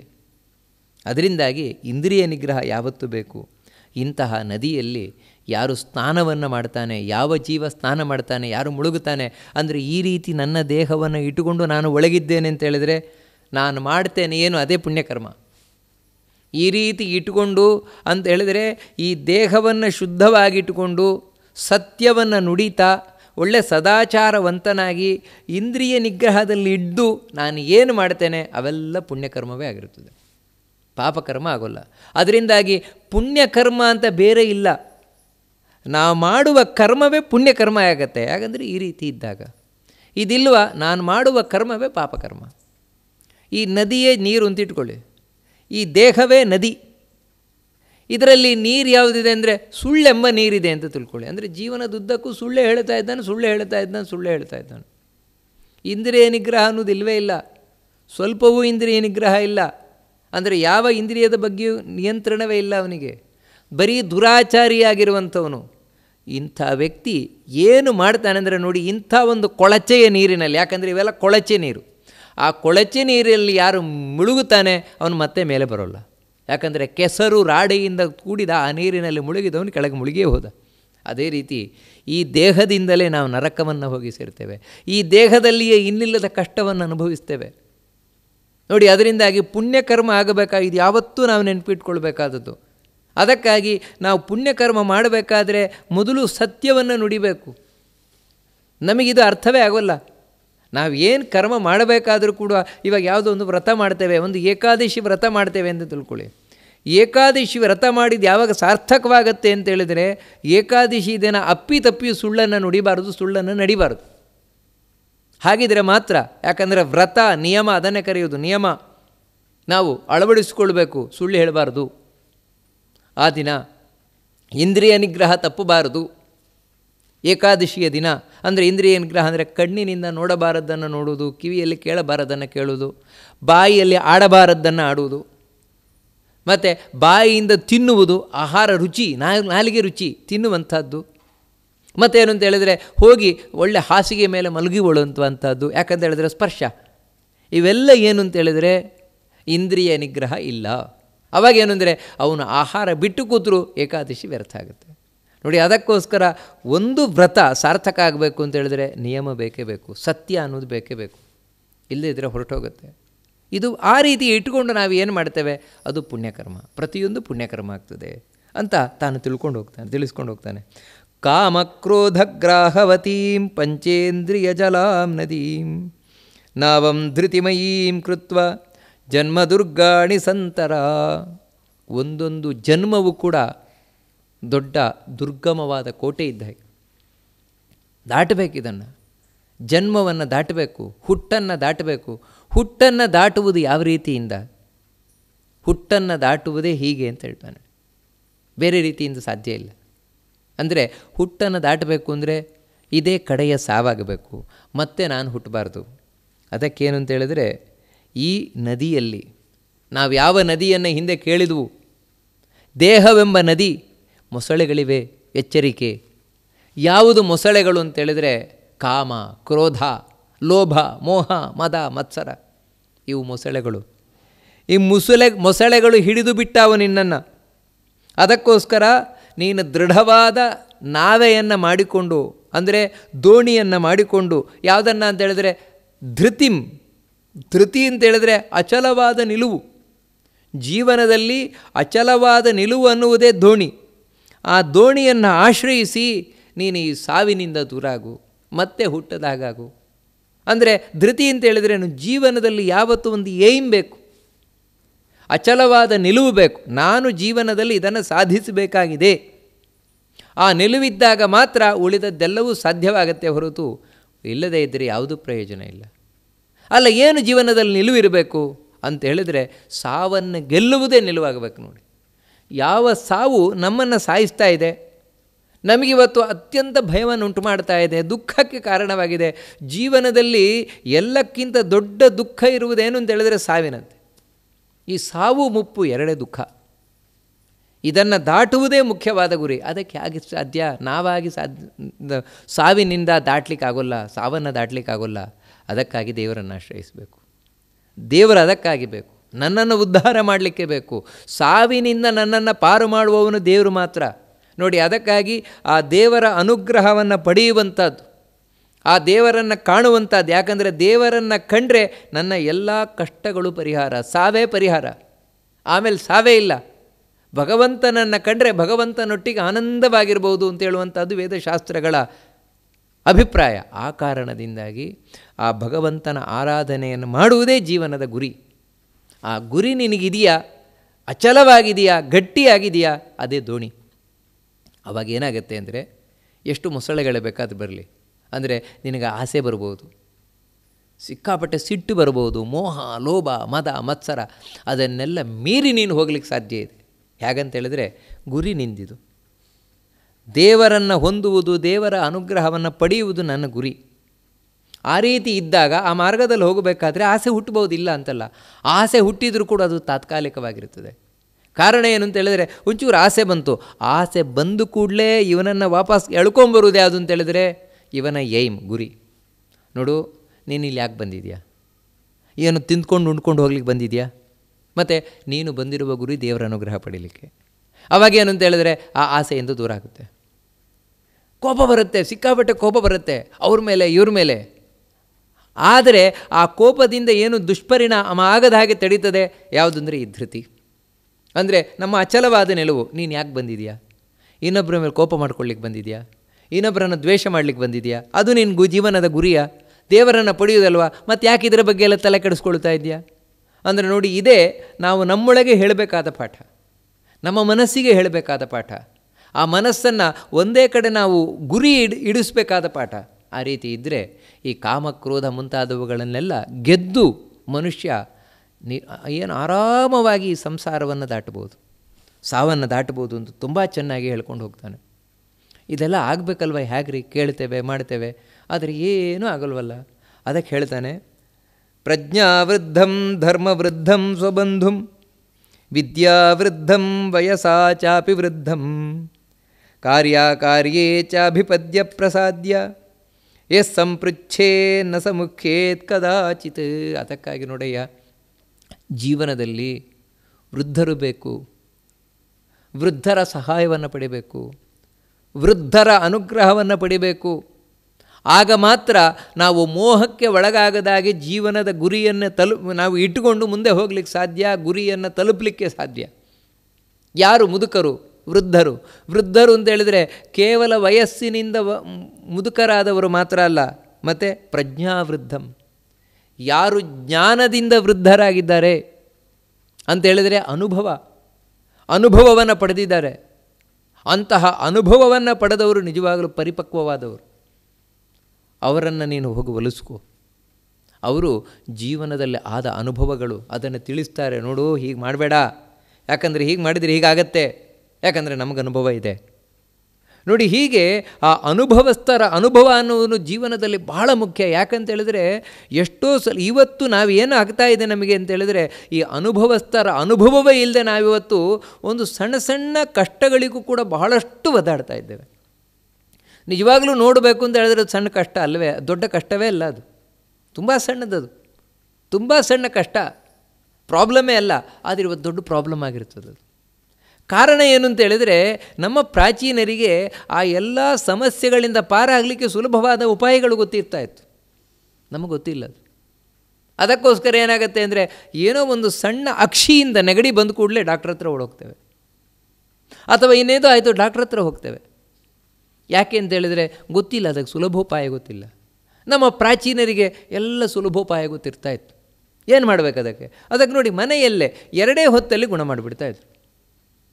ಏನಿಂಥ ರೋಗ ರುಜಿನಗಳಿದ್ರೆ ಕೂಡಲೇ ಗುಣ ಮಾಡ್ತಾಯಿದ್ರು ಅಥವಾ ನಿಮಗೆ ಇನ್ನೇನಾದರೂ ಸಮಸ್ಯೆಗಳಿದೆಯಾ? ಒಂದು ಪುಟ್ಟ ಮಗುವಿಗೆ ಏನಾದರೂ ಸಮಸ್ಯೆ ಇದೆಯಾ? ಕೂಡಲೇ ಪರಿಹಾರ ಮಾಡ್ತಾರೆ. ಯಾಕಂದರೆ ಅವರಿಗೆ ಅದೆಲ್ಲ ಟೆಕ್ನಿಕ್ಗಳು ಗೊತ್ತಿತ್ತು. ಹಿಂದಿಂದ ಬಂದದ್ದು. ಅನುಭವದಲ್ಲಿ ಬಂದದ್ದು ಅವರಿಗಿತ್ತು. ಅದಕ್ಕಾಗಿ ಎಂಥ ಒಂದು ಕ್ರಿಟಿಕಲ್ ಕಂಡೀಷನಲ್ಲೂ ಕೂಡ ಅದರಿಂದ ಹೇಗೆ ಹೊರಗೆ ಬರುವುದು ಅವರಿಗೆ ಗೊತ್ತಿತ್ತು. ಬೇರೆ ಬೇರೆ ಉಪಾಯಗಳು. ಕೆಲವೊಂದು ಮಂತ್ರ, ಕೆಲವೊಂದು ತಂತ್ರ, ಕೆಲವೊಂದು ಔಷಧಿ. ನೋಡಿ, ಈ ರೀತಿ ಅನೇಕ ಉಪಾಯಗಳು ಗೊತ್ತಿರ್ತಾ ಇತ್ತು ಅವರಿಗೆ ನಾವಿವತ್ತು ಅದನ್ನೆಲ್ಲ ಕಳ್ಕೊಳ್ತಾ ಇದ್ದೇವೆ. ಯಾಕಂದರೆ ಅಂಥ ವೃದ್ಧರಿಲ್ಲ ಪ್ರಜ್ಞಾವೃದ್ಧರಿಲ್ಲ ಇನ್ನು ಧರ್ಮವೃದ್ಧರು ಇನ್ನು ಕೆಲವರ ಅನುಭವ ಯಾವುದು ಅಂದರೆ ಧರ್ಮದ ಅನುಭವ ಪಡೆದವರು. ಓ ಇದು ಧರ್ಮ. ಯಾಕಂದರೆ ಈ ಧರ್ಮವು ಕೂಡ ಬರೀ ಪುಸ್ತಕ ಓದಿ ಬರುವಂಥದ್ದಲ್ಲ ಧರ್ಮಶಾಸ್ತ್ರ ಗ್ರಂಥಗಳನ್ನು ಓದಿಯಷ್ಟೇ ಧರ್ಮವನ್ನು ತಿಳ್ಕೊಳ್ಳಿಕ್ಕೆ ಆಗೋಲ್ಲ ಮತ್ತೇನೆಂದರೆ ಯಾರು ಧಾರ್ಮಿಕರಿದ್ದಾರೆ ಅಂದರೆ ಧರ್ಮದ ಮಾರ್ಗದಲ್ಲಿ ಹೋಗಿ ಯಾರು ತಾವು ಅನುಭವವನ್ನು ಪಡೆದಿದ್ದಾರೆ, ಅವರಿಂದ ಮಾತ್ರ ನಾವು ಧರ್ಮವನ್ನು ತಿಳ್ಕೊಳ್ಳಿಕ್ಕೆ ಸಾಧ್ಯ. ಯಾಕೆ ಅಂತ ಹೇಳಿದ್ರೆ ಕೆಲವು ಸಲ ಧರ್ಮ ಅಂತ ಹೇಳಿ ಹೋಗ್ತೇವೆ, ಅಧರ್ಮ ಆಗಿಬಿಡ್ತದೆ. ಅಧರ್ಮವೂ ಕೂಡ ಧರ್ಮ ಆಗ್ತದೆ. ಹೇಳಲಿಕ್ಕೆ ಬರೋದಿಲ್ಲ ಹೇಗೆ ಅಂತ ಹೇಳಲಿಕ್ಕೆ ಬರೋಲ್ಲ. ನಿಮಗೆ ಉದಾಹರಣೆಗಳು ಒಂದೊಮ್ಮೆ ಕೃಷ್ಣ ಇಲ್ಲದೇ ಇದ್ದರೆ ಮಹಾಭಾರತ ಕ, ಮಹಾಭಾರತ ಯುದ್ಧದಲ್ಲಿ ಅರ್ಜುನ ದೊಡ್ಡ ಅಧಾರ್ಮಿಕ ಆಗ್ತಾ ಇದ್ದ. ವಾಸ್ತವಿಕವಾಗಿ ಭಗವದ್ಗೀತೆಯ ಮೊದಲನೆಯ ಅಧ್ಯಾಯದಲ್ಲಿ ಅರ್ಜುನ ಏನು ಪ್ರತಿಪಾದನೆಯನ್ನು ಮಾಡ್ತಾನೆ, ಅದನ್ನು ಕೇಳಿದರೆ ನಮಗೆ ಹೌದು ಅಂತ ಕಾಣಿಸ್ತದೆ. ಹೌದು, ಅರ್ಜುನ ಹೇಳ್ತಾ ಇರೋದು ಸರಿ. ಒಳ್ಳೆ ಧಾರ್ಮಿಕನಾಗಿದ್ದಾನ ಅವನು. ತುಂಬ ಒಳ್ಳೆಯವನು ಅರ್ಜುನ ಅಂತ ನಮಗೆ ಕಾಣಿಸ್ತದೆ.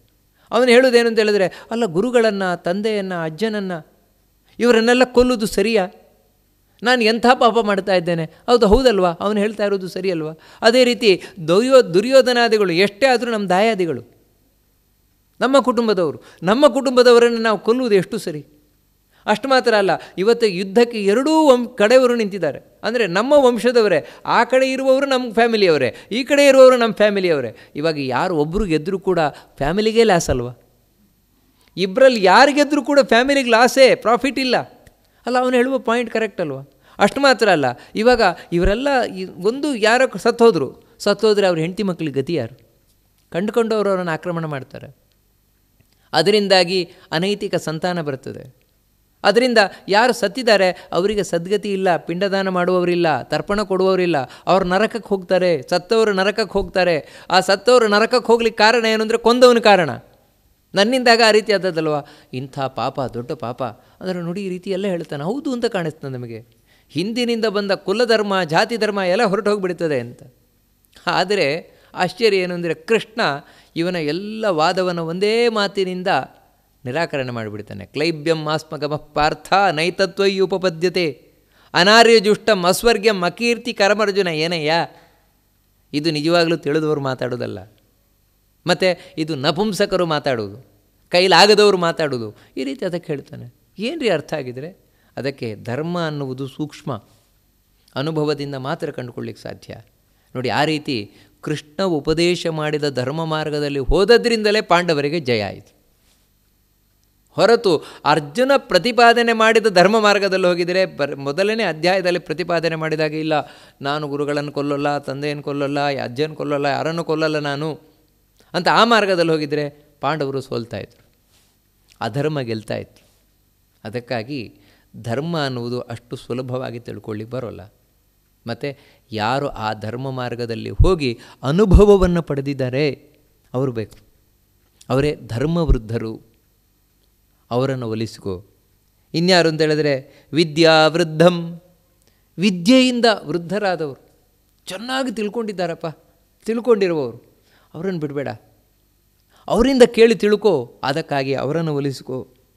ವಯಸ್ಸಾ ಚಾಪಿ ವೃದ್ಧಂ. ಇನ್ನೇನೆಂದರೆ, ವಯಸ್ಸಿನಿಂದಲೂ ವೃದ್ಧರಾದವರು. ಅಂದರೆ, ವಯಸ್ಸಿನಿಂದಷ್ಟೇ ಮುದುಕರಾದರೆ ಬೆಲೆ ಇಲ್ಲ. ಮತ್ತು, ವಯಸ್ಸಿನಿಂದಲೂ ಪರಿಪಕ್ವವಾಗಬೇಕು. ಅದರೊಟ್ಟಿಗೆ ಅನುಭವದಿಂದ, ಜ್ಞಾನದಿಂದ, ವಿದ್ಯೆಯಿಂದ. ಇದರಿಂದ ಪರಿಪಕ್ವ ಆದರೆ ನಿಜವಾಗಲೂ ಬಹಳ ಶ್ರೇಷ್ಠ ಅವರು.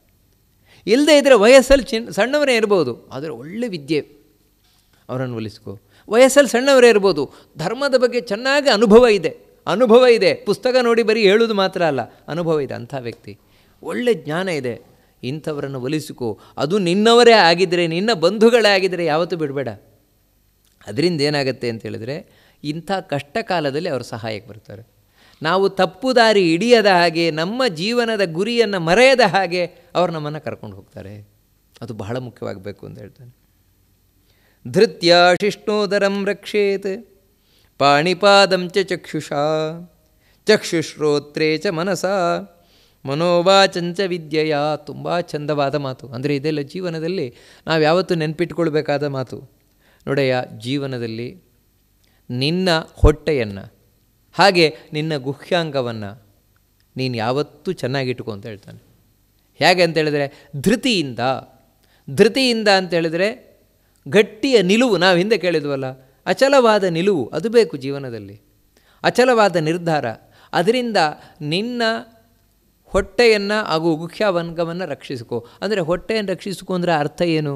ಅಂತೇಳಿದರೆ ಸಿಕ್ಕಿದ್ದೇನೆಲ್ಲ ತಿನ್ನಬೇಡ ಏನು ಸಿಕ್ಕಿತೋ ಎಲ್ಲವನ್ನು ತಿನ್ನಬೇಡ ಯಾಕಂದರೆ ಹಾಗೆ ತಿಂದ್ಯಾ ಆಹಾರದಿಂದ ಬುದ್ಧಿ ಕೆಡ್ತದೆ, ಮನಸ್ಸು ಕೆಡ್ತದೆ. ಆಹಾರದಿಂದ ಆರೋಗ್ಯ ಕೆಡ್ತದೆ. ಮತ್ತೇನು ಮಾಡ್ತೀಯ ನೀನು? ಅದಕ್ಕೆ ಯಾವುದನ್ನು ತಿನ್ನುವುದಕ್ಕಿಂತ ಮುಂಚೆ ನಿನ್ನ ಗುರಿ ಏನು ಅನ್ನುವುದನ್ನು ಯೋಚನೆ ಮಾಡು. ನಾನು ಯಾವ ಮಾರ್ಗದಲ್ಲಿ ಹೋಗುತ್ತಾ ಇದ್ದೇನೆ, ಆ ಮಾರ್ಗಕ್ಕೆ ಯಾವುದು ಉಪಯುಕ್ತವಾಗಿದೆ ಅಂಥ ಆಹಾರವನ್ನು ಸ್ವೀಕಾರ ಮಾಡು.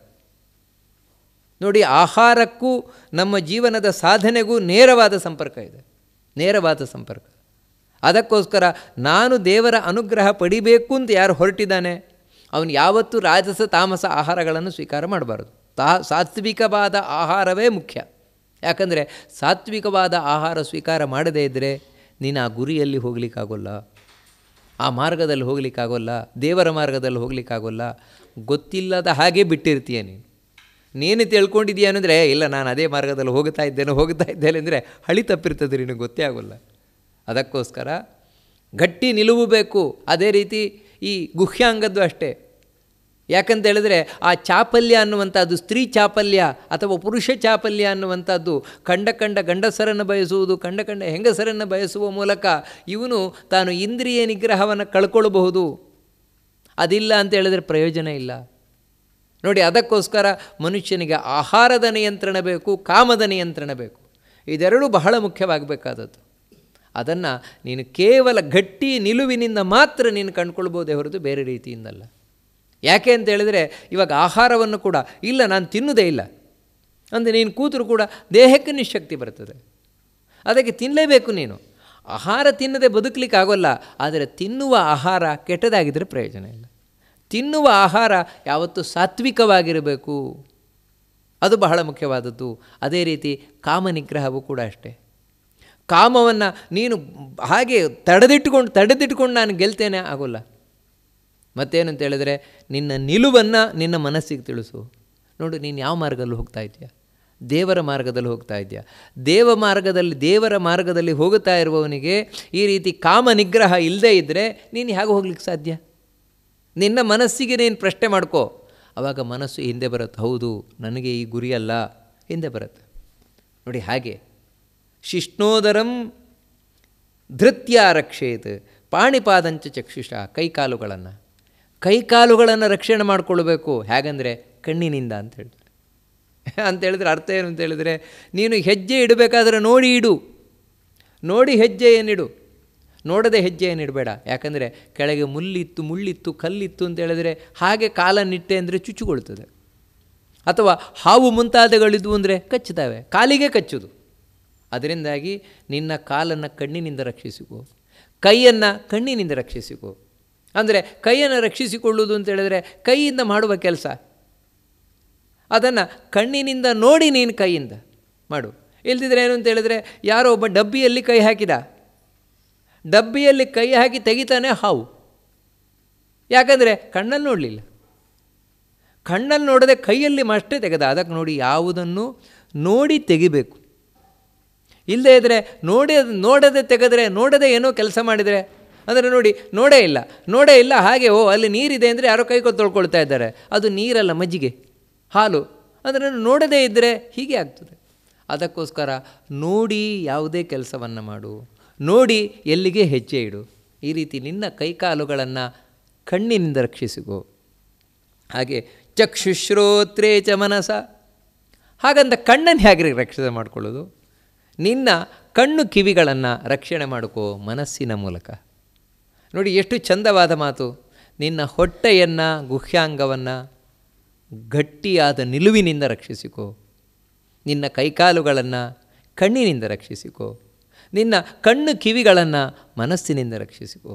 ಅಂದರೆ ಮನಸ್ಸಿನಿಂದ ರಕ್ಷಿಸಿಕೊ ಅಂತ ಹೇಳಿದರೆ ನಿನ್ನ ಕಣ್ಣು ಕೆಟ್ಟದ್ದನ್ನು ನೋಡಬಾರದು ಅಂತ ಹೇಳಿದರೆ ಕಣ್ಣು ಮುಚ್ಚಿಕೊಂಡ್ರೆ ಅಲ್ಲ, ಮತ್ತು ಮನಸ್ಸು ಇಚ್ಛಿಸ್ಬೇಕು. ಮನಸ್ಸು ಯಾವಾಗ ಬೇಡ, ನಾನು ನೋಡೋಲ್ಲ ಅಂತ ಇಚ್ಛಿಸ್ತದೆ ಆವಾಗ ಕಣ್ಣು ಹೊರಗಿನಿಂದ ನೋಡಿದರೂ ಕಾಣೋಲ್ಲ. ನೋಡಿ, ಆಶ್ಚರ್ಯ ಏನು ಅಂತ ಹೇಳಿದ್ರೆ ನಿಮಗೆ ನೋಡುವ ಇಚ್ಛೆ ಇಲ್ಲ ಅಂತ ಹೇಳಿದ್ರೆ ಹೊರಗಿನಿಂದ ಕಣ್ಣಿನಿಂದ ನೋಡಿದರೂ ಕಾಣೋಲ್ಲ. ನಿಮಗೆ ಕೆಟ್ಟದ್ದು ನೋಡುವ ಇಚ್ಛೆ ಇದೆ ಅಂತ ಹೇಳಿದ್ರೆ ಹೊರಗಿನ ಕಣ್ಣು ನೋಡದೇ ಇದ್ದರೂ ಕಾಣಲಿಕ್ಕೆ ಶುರುವಾಗುತ್ತೆ. ಯಾಕೆ ಅಂತ ಹೇಳಿದ್ರೆ ಒಳಗಿನ ಆಸೆ. ಆ ಒಳಗಿನ ಆಸೆ ಅನ್ನುವಂಥದ್ದು ಏನೇನೋ ಕಲ್ಪನೆಗಳನ್ನು ಮಾಡಿಕೊಡ್ತದೆ ಮತ್ತು ಆ ಕಲ್ಪನೆಯಿಂದಾಗಿ ಮನಸ್ಸು ಆ ಕಡೆ ಸೆಳೀತದೆ, ಆ ಕಣ್ಣು ಆ ಕಡೆ ನೋಡ್ತದೆ. ಕಿವಿಯೂ ಕೂಡ ಅಷ್ಟೇ. ನಿಮ್ಮ ಕಿವಿ ಕೇಳಬಾರದು ಅಂತ ಮನಸ್ಸು ಇಚ್ಛಿಸಿದೆ ಅಂತ ತಿಳ್ಕೊಳ್ಳಿ. ಆವಾಗ ಹೊರಗಿನಿಂದ ಏನು ಹರಟೆ ಹೊಡಿತಾ ಇದ್ರೆ ನಿಮಗೆ ಬೇಡ ಅಂತ ಕಾಣಿಸ್ತದೆ. ಯಾವಾಗ ಮನಸ್ಸು ಇಚ್ಛಿಸಿದೆ ಕೇಳಬೇಕು ಕೇಳಬೇಕು ಅಂತ. ಆವಾಗ ನೀವು ಕಿವಿಗೆ ಹತ್ತಿ ಇಟ್ಕೊಂಡ್ರೂ ಕೂಡ ಆ ಹತ್ತಿ ಇಟ್ಕೊಂಡು ಚೂಚೂರು ಚೂರು ಶಬ್ದ ಕೇಳಿಸ್ತದಲ್ವ? ಅದೇ ಕೇಳಿಸ್ತಾ ಇರ್ತದೆ. ಯಾಕಂತ ಹೇಳಿದ್ರೆ ಇವನ ಗಮನ ಇರುವುದಲ್ಲ ಅಲ್ಲೇ, ಹಾಳು ಹರಟೆಯಲ್ಲೇ. ಹಾಳು ಹರಟೆಯಲ್ಲೇ ಇವನ ಗಮನ ಇದ್ದಾಗ ಕಿವಿಯಲ್ಲಿ ಹತ್ತಿ ಇಟ್ಕೊಂಡ್ರೂ ಕೂಡ ಕೇಳಿಸ್ತಾ ಇರ್ತದೆ. ಇಲ್ಲ, ಮನಸ್ಸಿಗೆ ಬೇಡ ಅಂತ ಆಗೋಗಿದೆ. ಆವಾಗ ಏನು ಮಾಡಿದ್ರು ಕೇಳಲ್ಲ.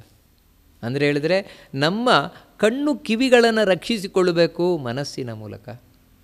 ಮನಸ್ಸನ್ನು ಹೇಗೆ ರಕ್ಷಣೆ ಮಾಡಿಕೊಳ್ಳೋದು? ಕಡೆ ಎಲ್ಲಕ್ಕಿಂತ ದೊಡ್ಡದಿದೆಯಲ್ವ? ಮನಸ್ಸು. ಮನಸ್ಸನ್ನು ಹೇಗೆ ರಕ್ಷಣೆ ಮಾಡಬೇಕು? ಅದಕ್ಕೆ ಹೇಳ್ತಾರೆ ಮನೋವಾಚಂಚ ವಿದ್ಯೆಯ. ವಿಶೇಷವಾಗಿ ಮನಸ್ಸು. ಅದರೊಟ್ಟಿಗೆ ಇರುವ ಇನ್ನೊಂದು ಇಂದ್ರಿಯ ವಾಸ್ತವಿಕವಾಗಿ ಇಂದ್ರಿಯ, ಆದರೆ ಇದು ಭಾಳ ಪ್ರಬಲವಾದ ಇಂದ್ರಿಯ. ಯಾವುದಂದರೆ ಮಾತು. ನಿನ್ನ ಮಾತು ಮನಸ್ಸುಗಳನ್ನು ವಿದ್ಯೆಯಿಂದ ರಕ್ಷಿಸಿಕೋ. ಅಂದರೆ ವಿದ್ಯೆ ಯಾಕೆ ಬೇಕು, ಜ್ಞಾನ ಯಾಕೆ ಬೇಕು ಅನ್ನುವುದಕ್ಕೆ ಉತ್ತರ ಇಲ್ಲಿದೆ. ಮನುಷ್ಯನಿಗೆ ಜ್ಞಾನದ ಅವಶ್ಯಕತೆ ಇದೆ, ತನ್ನ ಮನಸ್ಸನ್ನು ರಕ್ಷಣೆ ಮಾಡಿಕೊಳ್ಳಿಕ್ಕೆ. ಅಂದರೆ ಏನಾಗತ್ತೆ, ನಾನು ವಿದ್ಯೆಯಿಂದಾಗಿ ತಿಳ್ಕೊಳ್ಳೋದೇನು ಅಂದರೆ ಯಾವುದು ಕೆಟ್ಟದು, ಯಾವುದು ಒಳ್ಳೆಯದು ಅಂತ. ನೋಡಿ, ವಿದ್ಯೆ ತಿಳಿಸುವುದೇ ಅದು ನಮಗೆ. ಇದು ಕೆಟ್ಟದ್ದು, ಇದನ್ನು ಮಾಡಬೇಡ. ಇದು ಒಳ್ಳೆಯದು ಇದನ್ನು ಮಾಡು. ಇದು ನಿನಗೆ ಯಾವಾಗ ಗೊತ್ತಾಯಿತು?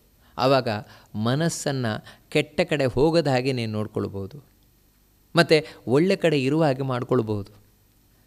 ಅದು ಮತ್ತೆ ಯಾವ ರೀತಿ ಒಳ್ಳೆ ಕಡೆ ಇರುವ ಹಾಗೆ ಆಗಾಗತ್ತೆ ಅಂತ ಹೇಳಿದ್ರೆ, ನೋಡಿ ಮನಸ್ಸಿನದ್ದು ಇಷ್ಟೇ ಮನಸ್ಸಿಗೆ ನಾವು ಹೇಳಿದಾಗೆ ನೀನು ಮನಸ್ಸಿಗೆ ತಿಳಿಸಿದ್ಯಾ, ಇದು ಒಳ್ಳೆಯದು ಇದು ಒಳ್ಳೆಯದು ಇದು ಒಳ್ಳೆಯದು ಅಂತ ಮನದಟ್ಟು ಮಾಡಿದೆಯಾ ಅದಕ್ಕೆ, ಆಮೇಲೆ ಅದನ್ನೇ ಯೋಚನೆ ಮಾಡ್ಕೊಂಡು ಕೂತಿರ್ತದೆ.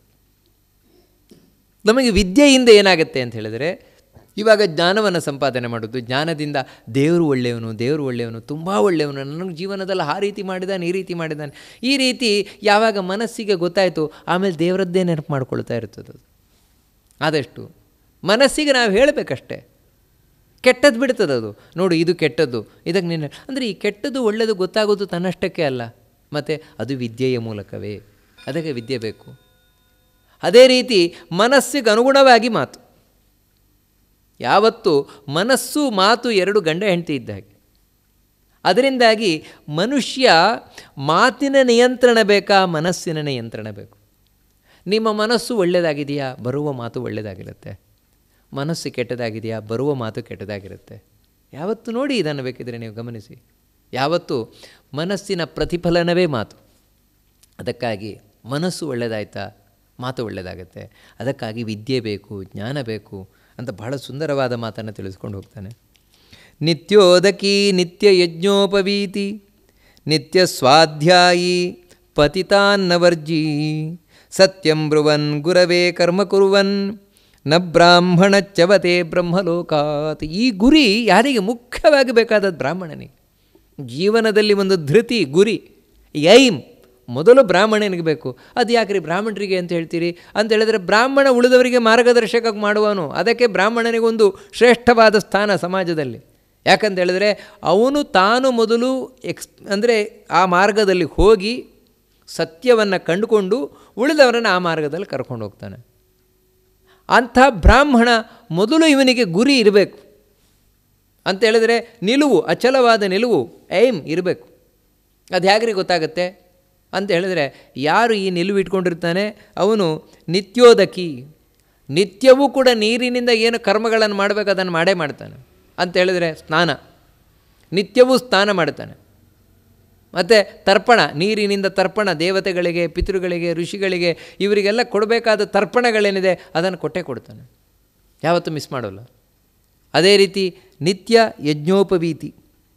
ನಿತ್ಯವೂ ಯಜ್ಞೋಪವೀತ, ಜನಿವಾರ ಹಾಕ್ಕೊಂಡವನು ಅಯ್ಯೋ, ಜನಿವಾರ ಹಾಕೊಂಡ್ಕೊಳ್ರೆ ಏನಾಯಿತು? ನಾವೆಲ್ಲರೂ ಹಾಕ್ಕೊಂಡಿದ್ದೇವಲ್ವ ಜನಿವಾರ ಯಾಕೆ ಹಾಕ್ಕೊಳ್ಳೋದು ಯಜ್ಞೋಪವೀತ ಯಾಕೆ ಹಾಕ್ಕೊಳ್ಳೋದು ನಾನು ಬ್ರಾಹ್ಮಣ ಅಂತ ಹೇಳಿ ತಿರುಗಲಿಕ್ಕಲ್ಲ. ಮತ್ತೇನೆಂದರೆ, ನೋಡಿ, ಅದರ ಹೆಸರೇ ಯಜ್ಞೋಪವೀತ ಅಂತ. ಅಂತ ಹೇಳಿದ್ರೆ, ಯಜ್ಞಕ್ಕೋಸ್ಕರ ಇರುವ ಉಪವೀತ. ಅಂದರೆ, ಅದನ್ನು ಯಾರು ಹಾಕ್ಕೊಳ್ತಾನೆ ಅವನಿಗೆ ಯಜ್ಞ ಮಾಡಬೇಕು. ಯಜ್ಞ ಮಾಡಲಿಕ್ಕೋಸ್ಕರವೇ ಆಗೋದು. ಯಜ್ಞ ಅಂತ ಹೇಳಿದ್ರೇನು? ದೇವ ಪೂಜೆ. ದೇವರ ಪೂಜೆ. ಬೇರೆ ಬೇರೆ ವಿಧವಾದ ದೇವರ ಪೂಜೆ. ಹೋಮ ಹವನಗಳಿರಬಹುದು. ಜಪ, ಪೂಜೆ ಮುಂತಾದವ ಏನು ದೇವರ ಆರಾಧನೆ ಇದೆ, ಆ ದೇವರ ಆರಾಧನೆಗೋಸ್ಕರವೇ ಅವನಿಗೆ ಯಜ್ಞೋಪವೀತರು. ಅಂತ ಹೇಳಿದರೆ ಅರ್ಧ ಗಂಟೆ, ಒಂದು ಗಂಟೆ ಅಲ್ಲ ಕಂಟಿನ್ಯೂಸ್ ಮಾಡ್ತಾನೆ ಇರಬೇಕು. ಬ್ರಾಹ್ಮಣ, ಅದಕ್ಕಾಗಿ ಯಜ್ಞೋಪವೀತ ಇರು ಇಲ್ಲೇ ಇದ್ದರೆ ವೇಸ್ಟು ಯಾರು ಯಜ್ಞೋಪವೀತ ಹಾಕ್ಕೊಂಡಿದ್ದಾನೆ ಏನೂ ದೇವರಿಗೆ ಸಂಬಂಧಪಟ್ಟಾಗ ಮಾಡ್ತಾ ಇಲ್ಲ. ಏನೂ ಮಾಡ್ತಾ ಇಲ್ಲ. ನಿಜವಾಗಲೂ ಅದೊಂದು ದಾರ ಅಷ್ಟೇ ಅದು. ಯಜ್ಞೋಪವೀತ ಅಲ್ಲ ಅದು.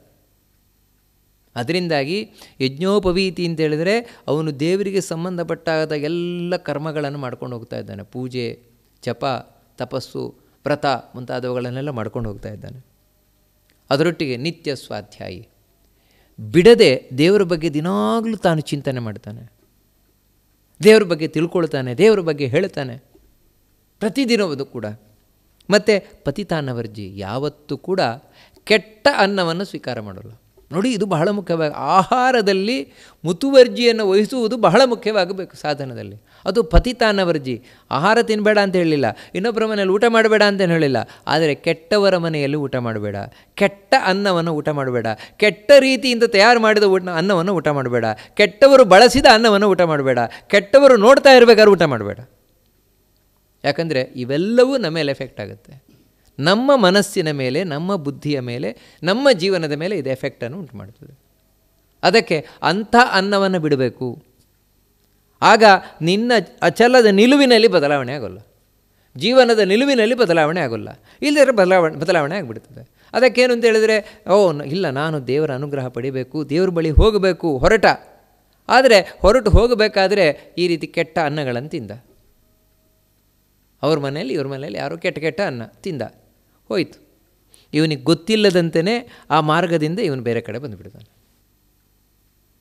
ಹಾಂ ಅದರಿಂದಾಗಿ ಆ ಅನ್ನವನ್ನು ಸ್ವೀಕಾರ ಮಾಡದವನು, ಸತ್ಯವನ್ನು ನುಡಿಯುವವನು, ಯಾರು ಗುರುಗಳಿದ್ದಾರೆ ಅಂತ ಹೇಳಿದರೆ ಮಾರ್ಗದರ್ಶನ ಮಾಡುವವರು, ಅವರ ಸೇವೆಯನ್ನು ಮಾಡಿ, ಮಾಡ್ತಾನೆ.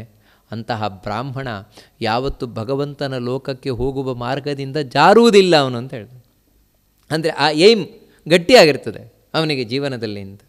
ಇವೆಲ್ಲ ಏನು ಅಂದರೆ ನಮಗೆ ತಿಳ್ಕೊಳ್ಬೇಕಾದ ಜೀವನದಲ್ಲಿ ನಮಗೆ ಇದೆಲ್ಲ ಪ್ರಶ್ನೆ ಬರ್ತದೆ. ಏನು ರೀ ನಮಗೆಲ್ಲ ಒಂದು ಗುರಿಯೇ ಬರೋಲ್ಲ. ಎಷ್ಟು ಹೇಳಿದರೂ ಕೂಡ ಒಂದು ದೇವ್ರ ಕಡೆ ಹೋಗಬೇಕು ಹೋಗಬೇಕು ಅಂತ ಕಾಣೋದೇ ಇಲ್ಲ. ಒಂದು ಎರಡು ದಿನ ಕಾಣುತ್ತಷ್ಟೇ ಮೂರನೇ ದಿನ ಎಲ್ಲ ಹೊರಟೋಗ್ಬಿಡತ್ತೆ. ಯಾಕೆ? ಅಂದರೆ ಹೀಗೆ ಕಾರಣ. ನಮ್ಮಲ್ಲಿ ಇವೆಲ್ಲ ಇಲ್ಲ ಆ ಕಾರಣದಿಂದಾಗಿ. ಅಧೀತ್ಯ ವೇದಾನ್ ಪರಿತಸ್ತಿ ಪರಿಸಂಸ್ಥೀರ್ಯ ಚಾಗ್ನೀನ್. ಇಷ್ಟ್ವಾ ಯಜ್ಞೇ ಪಾಲಯಿತ್ವಾ ಪ್ರಜಾಶ್ಚ. ಗೋಬ್ರಾಹ್ಮಣಾರ್ಥೇ ಶಸ್ತ್ರಪೂತಾಂತರಾತ್ಮ ಹತಸ್ಸಂಗ್ರಾಮೆ ಕ್ಷತ್ರಿಯ ಸ್ವರ್ಗಮೇತಿ. ಹಾಗೆ ನೋಡಿ ಒಬ್ಬ ಕ್ಷತ್ರಿಯನಾದವನು. ಕ್ಷತ್ರಿಯನಾದವನಿಗೆ ಗುರಿ ಬೇಕು ಜೀವನದಲ್ಲಿ. ಏನು ಗುರಿ? ನೋಡಿ, ಇವನು ಕೂಡ ಗುರಿಯನ್ನು ಇಟ್ಕೊಂಡ ಅಂತ ಹೇಳಿದ್ರೆ ಹೋಗಿ ದೇವರು ಸೇರ್ತಾನೆ. ಇವನು ತಿಳ್ಕೊಳ್ಬೇಕು. ಚೆನ್ನಾಗಿ ತಿಳ್ಕೊಳ್ಬೇಕು. ದೇವರ ಬಗ್ಗೆ, ಧರ್ಮದ ಬಗ್ಗೆ ತಿಳಿಬೇಕಾದದ್ದು ಅವಶ್ಯಕ. ಹಾಗೆ ಅಗ್ನಿಯಲ್ಲಿ ಆರಾಧನೆ, ಅಂದರೆ ಯಜ್ಞ, ಯಾಗಾದಿಗಳನ್ನು ಮಾಡಿಸಬೇಕು. ಪ್ರಜೆಗಳನ್ನು ಪಾಲನೆ ಮಾಡಬೇಕು.